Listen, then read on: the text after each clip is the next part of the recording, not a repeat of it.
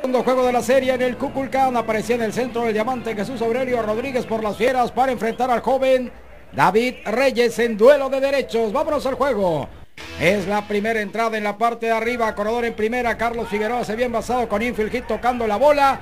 Este batazo por el jardín derecho. Jugaron mandada de correr y batear. Convertida en doble play porque le llegó a la bola. De manera espectacular el jardinero Fonseca. Y bueno, más que espectacular la atrapada, espectacular el haber sacado un doble play que van una intentona de bateo y corrido. Luego Café Amador, boom, home run. Su quinto de la campaña, segundo de la serie. Jafet ponía adelante al equipo de los Diablos en la segunda entrada, una por cero el score. Y aquí estamos ahora con Roberto Saucedo. Tómala, también despachando batazo de cuadrangular, su octavo del año, 316 de su carrera, a uno del séptimo lugar de todos los tiempos que ocupa Ronnie Camacho, una por una el juego. Debo decir que Roberto Saucedo en todos sus turnos bateó en conteo completo, luego con corredor en primera, en la tercera, Carlos Figueroa intenta sacrificarse y fracasa rotundamente buen fildeo del pitcher sacando en segunda, bateando Jesús Favela, intento de robo, goodbye. Qué buena jugada de Gil Velázquez porque el tiro venía abierto a la derecha de la colchoneta y Gil Velázquez en una gran acción, véanlo va por la pelota, baja el tiro y en la misma acción toca el corredor de manera espectacular. Y bueno, abrieron con imparable. Luego fallaron un sacrificio, out en intento de robo y terminaron con ponche para Favela. Salía adelante sin broncas. Jesús Aurelio Rodríguez en la tercera vaca, corredor en primera por imparable de Páez, Edson García. Saca una línea, también los Leones jugaban agresivos con Orlando Sánchez buscando un bateo y corrido, salió la línea y doble play. En la cuarta alta, corredor en primera con base a Café. Luego Luis Terrero rodando la pelota, doble play. Qué buena jugada por parte del Chapis Valencia. Vamos a la repetición. Aquí está.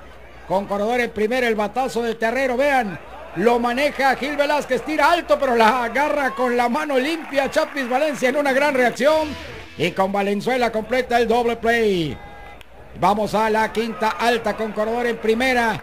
Ramón Urias, otro doble play, tercero del juego para la defensiva de Yucatán.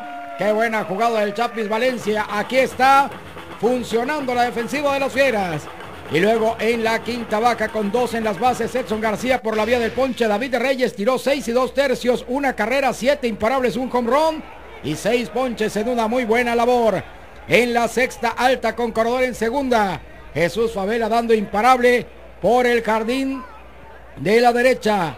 Juan Carlos Gamboa se iba para la tercera. A continuación lanzando Jorge Flores. Terrazas dando roletazo para doble play el cuarto del juego. Ya había salido del partido Jesús Aurelio Rodríguez. Cinco entradas y un tercio, una carrera, siete imparables, un home run, par de ponches y una base por bolas. La rotación de las fieras, qué buena atrapada por parte del center fielder, abatazo de Gabriel Gutiérrez. Se luce René Reyes cuando estaba lanzando Esteban Hernández con corredor en primer y dos outs. Les decía en 31 juegos la rotación de las fieras. Solamente tiene dos triunfos y volvió a lanzar muy bien ayer Jesús Aurelio Rodríguez. Vean la respuesta del público para apoyar a los Leones en el Parque Cuculcán. Pese a la campaña complicada, ahí estaba la gente para apoyar a las fieras en este segundo juego de la serie. El partido en el alambre. Una por una en la octava entrada. Aquí están las fieras ahora ante Rodolfo Aguilar. Iván Araujo de emergente dando un podrido que cae de imparable. ¿Quién dijo que hay que darle duro a la pelota para tener éxito?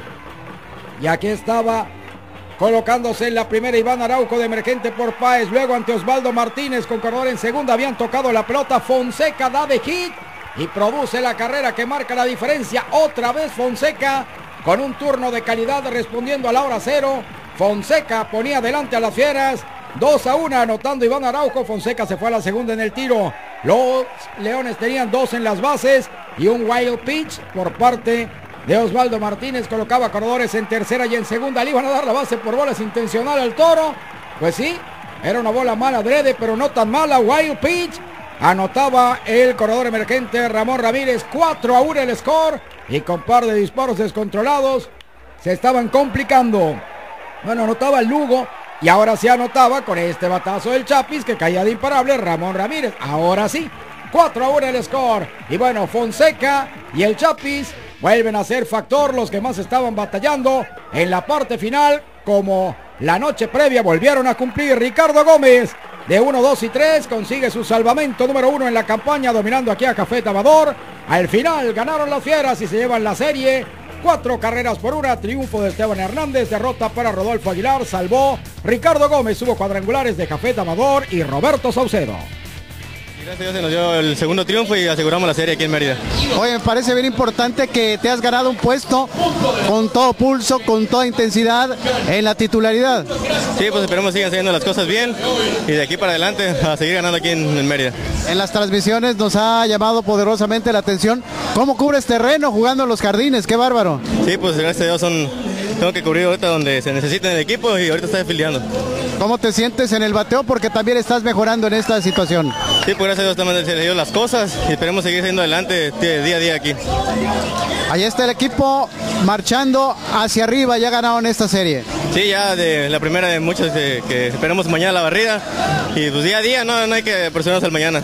Esto de la jornada de Puebla, triunfo de Reynosa. Veracruz le ganó a la Laguna. Ya veíamos que Yucatán sobre los Diablos, Aguascalientes blanqueó a Ciudad del Carmen, Saltillo, le ganó a los Piratas de Campeche el equipo de Tijuana, los Tigres y Tabasco Monclova no se pudo jugar. Los standings en el norte, Monclova marcando el paso con 19 y 11, le saca medio juego a Saltillo, a uno y medio Monterrey, a dos y medio el México y el resto de la tropa. El Carmen es el líder en la zona sur, sacándole un juego de ventaja a los Tigres, dos a Tabasco, Yucatán, pese a par de triunfos, siguen el sótano a ocho juegos del primer lugar.